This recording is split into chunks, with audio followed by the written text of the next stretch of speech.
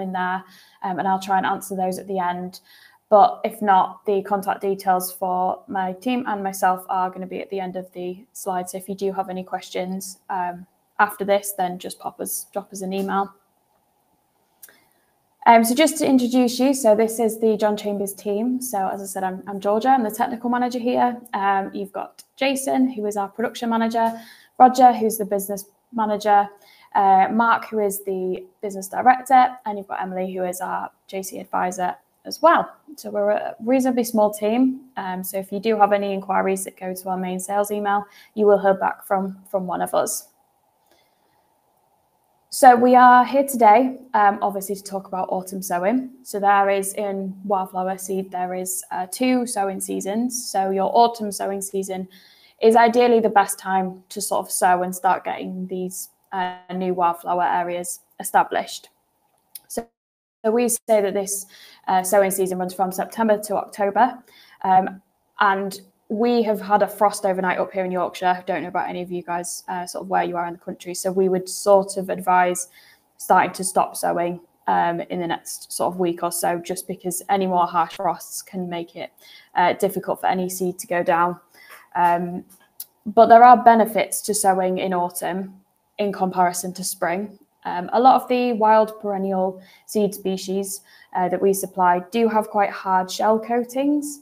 So when you sow in the autumn period, over the winter, those seeds have a process um, of freezing and thawing, which basically then cracks their seed coatings. And what that does is it just um, gives better germination than when it starts warming up and you come into springtime. Those those species, their seed coatings have cracked. So actually, when the warmer weather gets to them, um, they tend to germinate a little bit better than if you were to sow in in springtime. Um, but don't worry, we can, you know, autumn sowing. It's not. Sometimes sites don't allow for sowing at this time of year. If we have uh, weather like we did last year, it just rained from basically September all the way to Christmas. It feels like so a lot of sites were pushed back. Um, so there are things we can do for spring sowing as well, and there will be another webinar probably in the springtime to discuss spring sowing then. So mixture choice. This is your first sort of decision um, that you need to make when you are choosing to do a new wildflower area. Um, there are several different ways of looking at which mixture to choose. Uh, I'll go through a few of the ways that we recommend recommend seed mixtures. Um, but there's a few things to sort of consider um, as to obviously which species are going to suit your area the best but then also what you want to get out of, of your area as well. Are you replanting an area so it um, you know it holds a good ecological value? Are you doing it for the wildlife, or are you doing it um, in the middle of a city centre so it needs to be really attractive for the public? You need to think about why you're wanting to introduce this area as well. But the first thing we would say to a factor to look at is the soil type that you've got on your site. So if you have um, a particular extreme soil. So if you know you've got really heavy clay that um, is really dense in the winter time, it gets a lot of water. Uh, or if you've got a really sandy soil, um, particularly by the coast, um, or if you've got a really nutrient rich soil, so you've got a site that has previously been farmland and it's got a lot of fertilizer um, and nitrogen rich soil in there, that's the first thing to sort of look at. Don't worry too much. We don't sort of um, say that you need to get your soil tested. It's just whether you've got a real extreme that can then help us to narrow down which species are going to suit that soil a little bit more.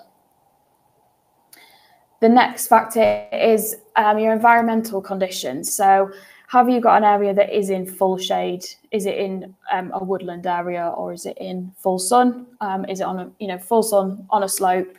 Does it get really dry in the summertime? Um, is it by the coast? Does it need to um, does the area need to be able to tolerate sort of salt spray coming off the sea? Um, or is this in an urban area? Is this up on a 60 foot, you know, green roof um, right in the middle of a city? So it needs to be tolerant of, of those kinds of conditions there.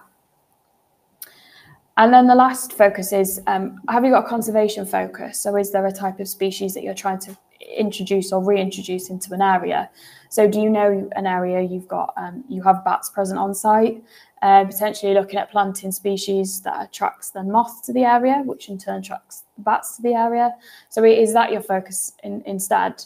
And finding a mixture that um, meets all three of those criteria is obviously a little bit tricky, but what we sort of say is use one of those focuses and look at which one is is taking more of the lead on it. So if you know you do have a really heavy clay soil, it's likely that we need to recommend a mixture that's going to suit that soil best, um, and the environment and the the conservation can sort of come after that. So the types of mixtures um, we normally provide are either include or don't include grass in there. Uh, so you've got your traditional hay meadow mixture, which will be 820 mix, or you've got your 100% wildflower mixtures. Uh, so the species that are included in those are obviously mixed and designed differently to meet those different factors. Um, but your first one is obviously your 100% wildflower seed mixture. So this is just a seed mix that is all wildflowers, um, and these have been designed to meet the conditions that we've we've just spoken about. So you've got your 100% clay soils mixture, which will be a range of um, 20 to 30 wildflower species that are tolerant of, of clay soil conditions. Um, when we're designing mixtures, we look at where those species of wildflower naturally thrive in the wild. Um, so when, for instance, when we're designing a hedgerow mixture, the base of it we we have had um, sort of designed for years, but actually we will look at how those species thrive in those hedgerow conditions. We get asked quite a lot about um, what's the difference between a, a woodland and a hedgerow mixture, and there is a lot of crossover between the two. But actually, a woodland seed mixture is more tolerant of more moist soils, um, so found in sort of deep woodland. And a hedgerow mixture is has species in there that are more tolerant of, of drier conditions because the hedgerow is creating that because there's so much other uh, shrubs and trees and vegetation there. Your next type of mixture is 100% um, native annual mixtures. So these are really great to include if you want to ensure that you are going to have first year flowering. Um, so the species in these are sort of native and naturalized species that have been here for, for decades. So your, your common poppy, um, your blue cornflower, your corn chamomile and, and corn marigold. There's a few of those featured in that, in that photo. Um, and these are really, these always go down well with the public because they are bright, um, flowery, native mixtures. Your next uh, mixture type is 100% impact annual mixtures. So our impact range that we sell here at John Chambers um, is the only range of seed we do that does contain some garden varieties and non-native species. These are still um, pollen and nectar rich species, but they've also been designed to be um, very impactful. So a lot of bright colours.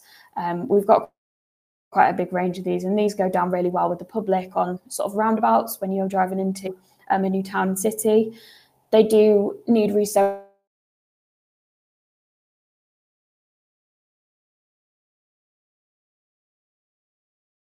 each year, um, but we find that a lot of councils use these because instead of doing a with every four weeks, take a hop seeds like this down, and actually because they're designed to flower from you know even earliest May time right the way through to the end of the season, it cuts down on on maintenance that you need to do because you can just leave it to flower. Um, I'll come on to maintenance of all the different mixtures um, in a little while. So the last one is your grass and wildflower mixtures. Um, so this is what we would say is your traditional hay meadow um, mix. So it's normally 80% grass and 20% wildflower. Um, we can design these slightly differently. So if your soil type is quite high in um, nutrients, and we know that it's been previously a field with a lot of um, nitrogen fertilizer use, we would actually recommend decreasing the ratio of grass in there and increasing the wildflower. Um, grass and wildflower mixtures, when you're first establishing them, do need quite a bit of maintenance. And that maintenance ensures that the wildflowers can establish in the grass area without the grasses becoming too um, vigorous and outcompeting the wildflowers that are there. So that's why we would suggest if you have a high uh, nutrient soil to just decrease that ratio slightly to maybe a 50-50 mix, just to give the wildflowers an extra extra hand in establishing. They're not always the strongest of growers, aren't wildflowers. So although they do suit well with um, sort of fescue grasses after they've established, they need a little little bit of help um, to begin with.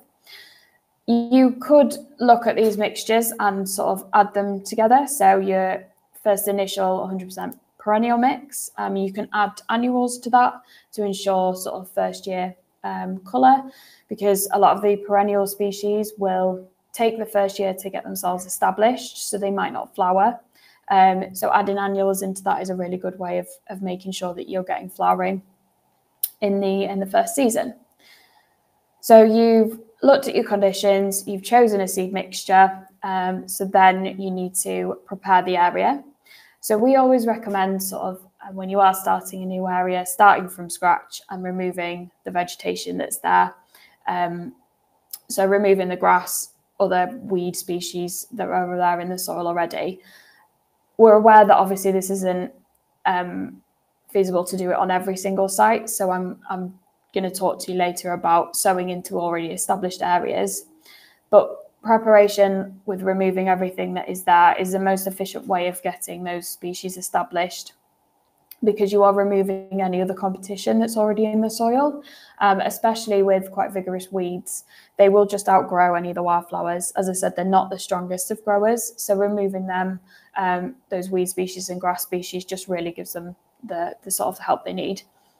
Um, so when you've cleared your soil, um, you want to sort of rake the soil over and just create sort of a fine till for it to be sown into. Um, and then you want to sow your seed. So if you are sowing just an 100% perennial mixture, you just want two grams per square meter. If you are sowing a perennial mixture with your annuals, so your, your cornflowers, your poppy, um, you want to up that sowing rate just to three grams per square meter. Your 80-20 mixes are five grams a square meter, and your 50-50 mixes, so 50% grass, 50% wildflower, are about four grams um, per square meter. So it's not a massive amount of seed, certainly not in comparison to sowing a new amenity lawn, for instance. But because of the different um, seeds per gram rates for the different wildflowers, you don't actually need a lot of seed at all.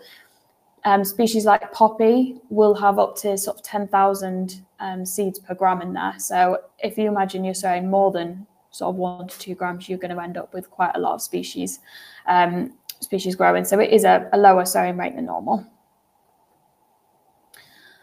Uh, so depending on which your mixture is, you obviously want to sow at the recommended sowing rate. If um, sowing's been done over quite a large area and you are using machinery to do it, so either a hand sower or a, a walking sower, they sometimes will need something adding to bulk out um, the mixture because the sowing rate on the machine doesn't go down to low enough of what we would recommend for sowing. So if you're sowing 100% over, you know, an acre, um, you might need to add some sand into your machine to be able to do it. Um, sand doesn't need to be anything special. It just needs to be in a, it's literally just a carrier for the seed. Um, but it can be a good thing to use as well because it gives you a visual aid of, of where you've obviously sown your seed. Some of this seed is really, really tiny. Um, and actually it doesn't you, you might not be able to see where you've already sown. So using sand can be a really good visual aid too. So after you've sown your seed um, onto your bare earth, you want to then roll the seed in. Um, you can even stamp it in if you've only got a small area to do. And what that does is it just pushes the seed just into the top surface of the um, soil and just gives it really good contact. If you can, quite easily done in, in the UK, if you can plan to do your sowing just before you know it's going to rain, then that again um, is ideal just because the rain sort of washes that seed in a little bit further. The soil doesn't need any, um, the area doesn't need any soil on top of it uh, covering that after. If you think about wildflower species in the wild, when they are dispersing their seed, they're not getting, it's the seed isn't getting buried under the ground. And because the perennial species are quite hard and, and, and tough shell coatings, they actually need to be of exposed to the elements slightly. Um, so it doesn't need to be covered with anything. The only thing we do get asked at this point is if you have a lot of birds in the area, what you would do about that. Does it need to be covered by a netting? Um, you could cover it by netting, but obviously that's not always feasible for massive areas. You could just put um, an additional sort of 10% of seed down just to make sure if the birds do get um, any of it, then you've still got plenty there. So your area over the next season has, has thrived. It's doing really well. So then you need to know what you're doing to maintain the area. So maintenance of 100% seed mixtures are a lot less uh, than in comparison to whether you've got grass there. Um, and these, if you've sown in autumn or spring, you basically just want to cut the area back at the end of the, the growing season. Depending on what which mixture you've gone for, you should be able to tell when an area's gone over. So these stems will be um, dried, they'll have gone sort of brown, and you'll be able to see some of the seed um, in the stems as well. So when you're cutting back your cuttings, you can leave them to lay for sort of one to two days just to let any other seed drop out and fall back into the soil. But after that, we would always say to remove your cuttings from the site.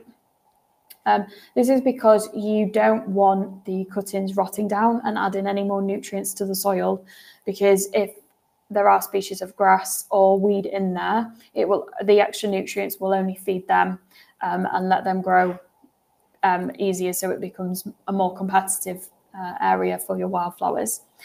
Obviously, not all sites are perfectly accessible. Um, so when a cut has been done and you can't remove the cuttings, you can do what we say is to leave sort of habitat heaps. So you leave the cuttings in a pile to the side of the site. Um, and birds and mice will use that as sort of nesting material. But obviously, after a while, this is going to start building up. So you just want to be aware that you probably are going to need to get rid of them at some point. Your 80-20 maintenance, so this is your grass and wildflower maintenance, needs a little bit more um, because you need to make sure that your wildflowers are establishing within the grass seed that's there. So in the first year, um, so you've sown in the autumn, it's had um, a winter to sort of establish itself. So in the springtime, looking from sort of May time to early June, from this point to the end of the season, the whole area will need cutting back sort of every three to four weeks through that growing season. And what that does is it just knocks the grasses back and allows sort of enough air and light to get into the sward. With your perennial mixtures, um, the perennial species will probably put out a small amount of foliage, um, not nothing very tall, and they probably won't flower in the first year anyway, because they are focusing their energies on putting their root system down. So when you're cutting back the area, um, you won't damage them at all. That they should be absolutely fine. But it ensures that enough light and air is getting in there so that they can establish themselves. At the end of your the season, so September October time, um, you're going to do the the cut, um, remove your cuttings, and then leave the area over the winter period. If we've had quite a mild winter, um, which sometimes we do, and you get to the following spring, so your second year spring, um, and you think the the grasses have really grown, but not a lot else is sort of showing through. You can do what we call a, a cleaning cut. So you basically cut the area uh, back down um, to about 75 mil or sort of second to highest setting on a mower. And what that does, it'll just re reburst the the sward, so I encourage those wildflower species to come back when you're doing your cuts, you want to cut it back to between 75 and, and 100 mil, um, just to really kind of get it back down to um, encourage new growth coming through. The maintenance that I've talked about so far is maintenance of um, a perfect season, a perfect year. And actually, in reality, with our climate changing, when we're seeing that we need to offer advice on, on different maintenance um, throughout the season because the weather can massively affect how a meadow does look. So when we've had years where the, we've had a really warm or hot May um, and June, actually what that does for a lot of the species is it, it pushes them forwards and they flower and go over a lot earlier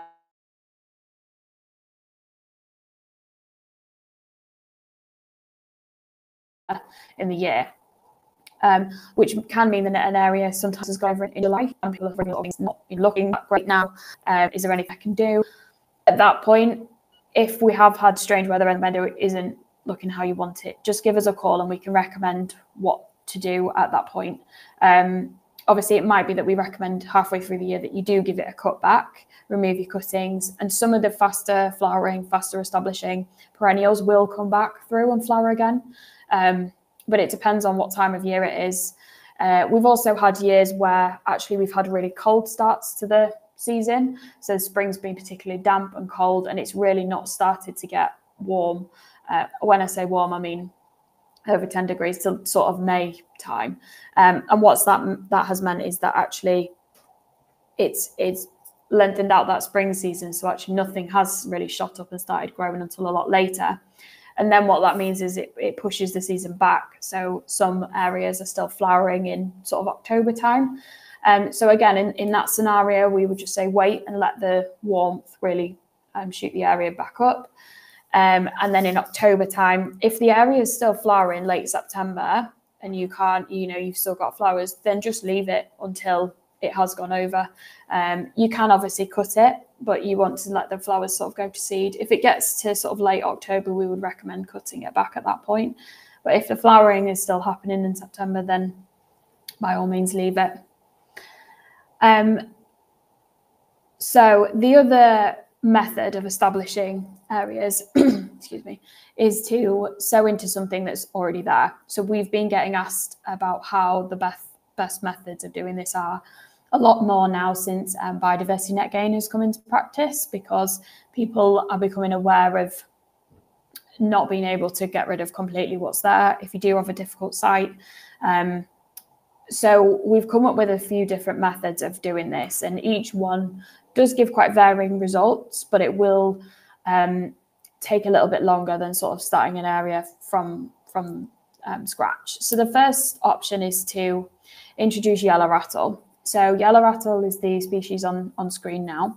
It's quite a small species. Um, but what yellow rattle is, is it's known in the industry as sort of the, the meadow maker. It's in the vast majority of our mixtures. Um, and it's actually semi-parasitic. So what it does is it latches onto grass seed roots and strips some of the moisture out of them. Um, so it, it actually prevents the grasses from growing as tall and as vigorously as they have done. And in turn, what that means is it, it opens up the sward so it lets other wildflowers that aren't as strong growing um, come through and, and, and flourish. With yellow rattle, we would always recommend sowing this in the autumn. Um, the germination of yellow rattle seed does decrease quite rapidly over the year. So we'd always recommend using fresh seed in the autumn, uh, which we now have available. The harvest is in for yellow rattle. It's usually an earlier harvest. It's sort of an August harvest, this one. Um, you want to sow about 0.5 to 1 gram per square metre. There's not a, a massive amount needed. Um, and ideally, you would want to leave that an entire season for it to get established. So sow it in autumn, and then the following autumn, um, by that point, it will have hopefully germinated, flowered, thrived, and got a hold of those grasses.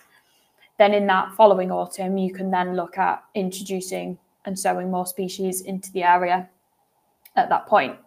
Um, you can do this as plug plants as well, so plug planting them in little clumps of an area. Um, that does work and is quite an efficient way of, of doing it um, because you know that you already have the plug established, so you know that you're not having to worry about this, the seed germinating because it can be a little bit difficult um, it wants particular conditions for this to, to germinate. Um, if you haven't got time or you know you are pushed for time on site, you can sow the yellow rattle alongside a, a seed mixture. But the results for this aren't going to be as good as they would be if you leave it for a year um, and, and let it get established. Option two is to sow a wildflower mixture into an established area that's already there. So if you've got a an old paddock, let's say, with lots of uh, fescues already in there, um, what we would recommend is look at the area if there's any huge clumps of, of grass, pull those out ideally. Um, and then you basically want to go over the area with a mower and cut it to as short as possible. If possible, then either scarify the area or just um, basically rake over the area so you've got patches of bare soil available. Don't worry about scarifying too much because the grass roots are there, so they will pop up back through eventually. Um, you're not going to damage them too badly at all. And then what you would do is you would sow 100% wildflower seed into that area.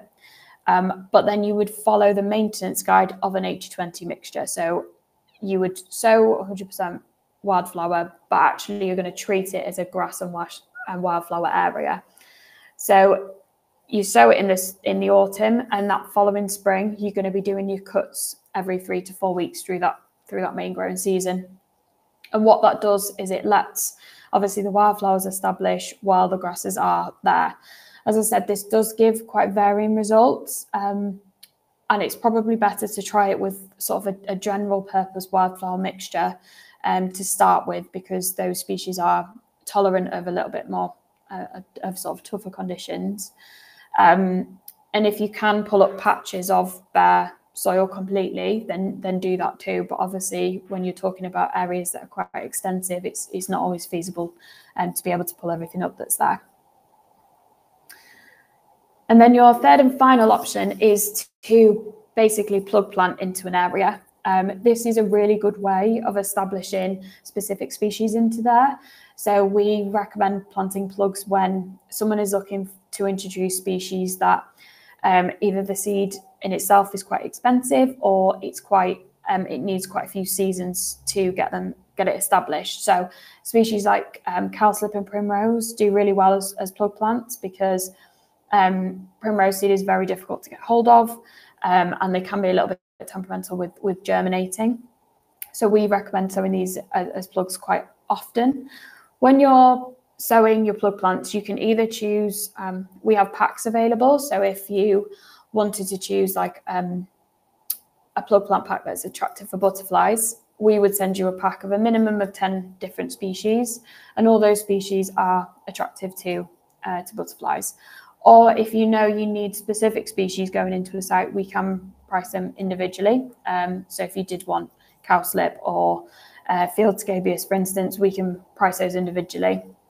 When you're planting your plugs in the area, um, you want to basically dig a slightly bigger hole than um, the plug actually needs just to remove a little bit of the vegetation that's around the area.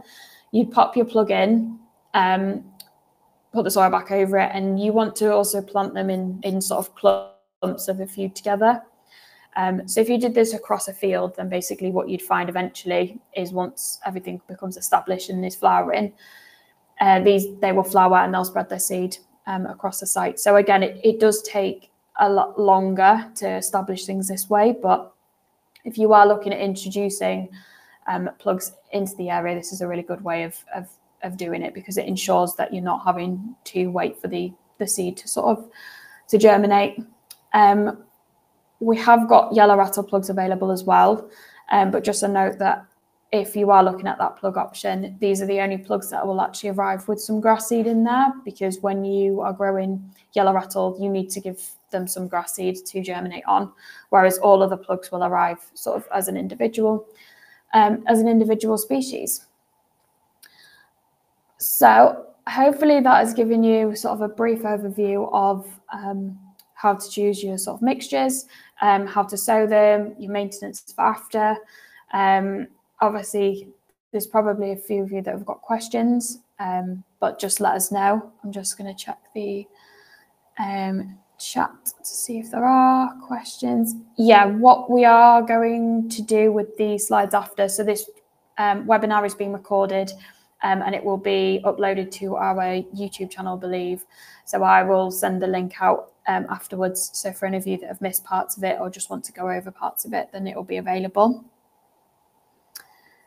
Um, you can leave some areas uncut for insects over the winter, um, especially for sort of winter birds as well.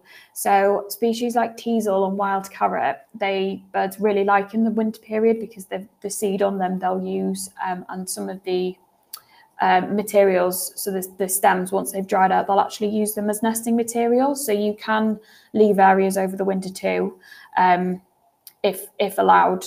Obviously, on some sites it's not. People prefer to cut it back and sort of give it some some green coverage over the winter. Um, just having a look.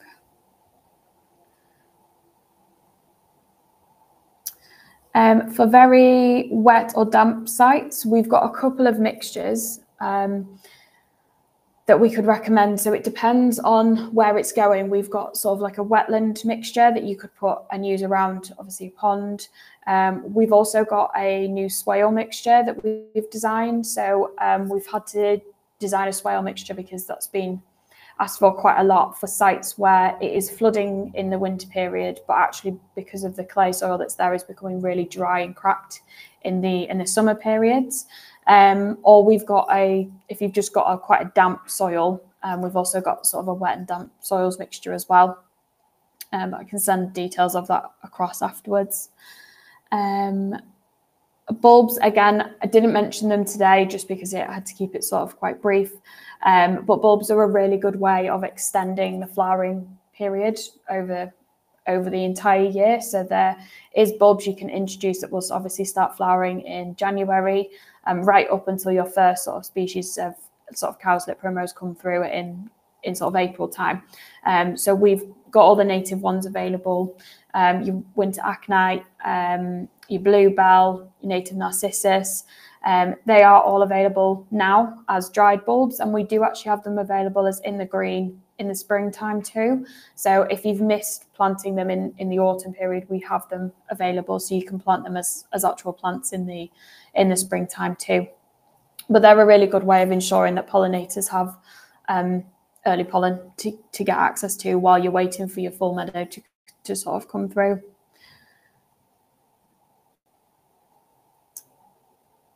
Um, just in a question regarding creeping buttercup, it can be a little bit difficult to manage um, because it's one species that once it's happy in a certain area, it can become um, quite dominant. But with any of the wildflower species, um, the best thing to do is to is to manage them as if they are becoming a little bit invasive. Um, so we get asked a lot about this with with oxeye daisy as well.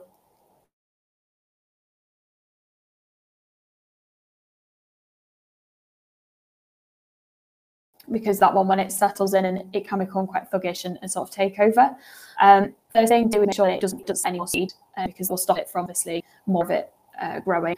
The second thing is to obviously remove what's there. Um, there's several ways you can do that depending on area size and what you have access to. Um, obviously, spraying it, it's not everybody's uh, preferred method, but that would be your, your most efficient way of removing what's there. Um, you can manually remove it and just get as much root out as possible. Um, if you are going to do it manually, then you need to make sure you, you're giving yourself um, a realistic time frame as well, because even if you think you've got rid of the whole root, there might still be plants or seed in the in the soil that will come through and, and carry on growing.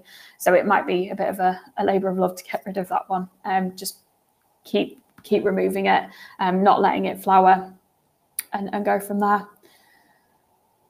Um, there is a mixture for shady areas. So when we're um, recommending areas or recommended mixtures for shady areas, we would always ask whether your soil is more moist or whether it is more dried.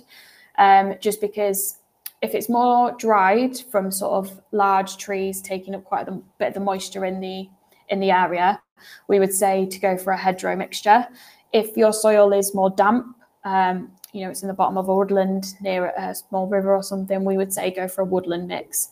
There will be quite a bit of crossover between the two anyway, um, but it, it, should be if you kind of stick to that, then then that should be um, okay. With shady um, or woodland species of wildflower, I should mention that these species in particular can take quite a few years to germinate and establish, um, which is why we recommend doing other things like planting bulbs or planting plugs as well.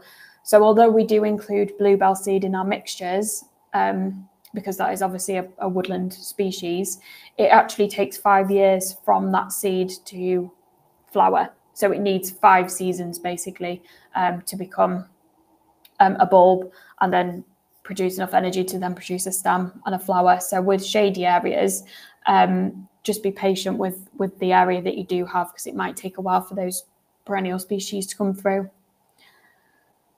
Um, with anybody wanting information on specific mixtures, what I'll ask you to do is just email uh, which mixtures you're wanting um, to the either the sales email or my email address, um, just because I won't be able to see this chat. I don't think after after we've turned the um, webinar off.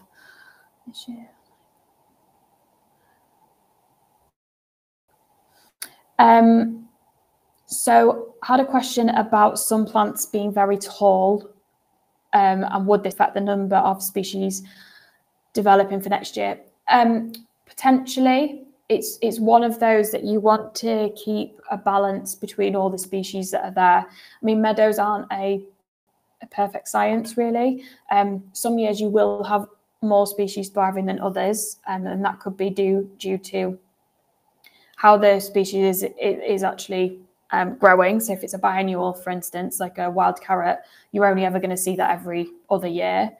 Um, but you want to make sure that there is areas where you haven't just got one species sort of taking over, um, because it, it, will stop. If especially if it's taller as well, it will stop light and air getting to the sward. It, it basically will just outcompete anything else that's trying to to get back um, to to sort of grow through. So what we'd recommend is to sort of pull out um, a little bit of the species that is taking over, just to give a bit more room for anything else to, to sort of come back through.